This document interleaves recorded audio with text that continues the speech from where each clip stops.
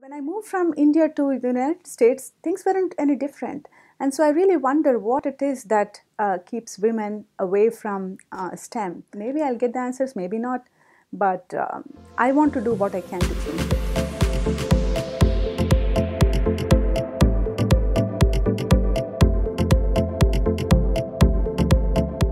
Research focus is uh, language processing and what's called natural language processing.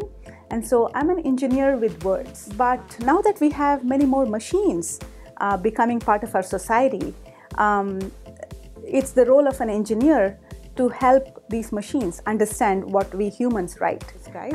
In the in the case of um, social media text, I want to be able to design algorithms that detect cyberbullying, for example, and um, be able to change that for the better. So there is this uh, interesting theory about uh, women in STEM. Apparently, women participate in STEM uh, with the view of making themselves useful to the society. And so they participate in projects or at least in, in directions where they make a direct impact on the society. That could be a way in which you can um, uh, inspire women to participate more in STEM by saying, hey, you know what, you can make an impact. These are the ways in which women have succeeded in this, um, in this field or in this other field.